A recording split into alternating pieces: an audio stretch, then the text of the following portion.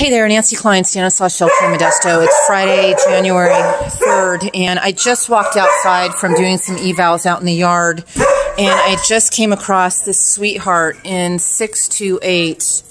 Hi, baby. What happened? Do you want my treat? Do you want it? Yeah? Oh, what a soft mouth you have. But, oh my gosh, look at this injury. What the heck? Oh God, I can't even begin to know what that is. Um, it's past his neck, some very deep wounds. I don't know if this is a boy or a girl because there's no kennel card yet.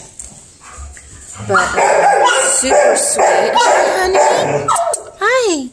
Let's see your beautiful face. All right, more to come. We're going to go get you a blanket before I leave. Aw, thank you for the kiss. Thank you.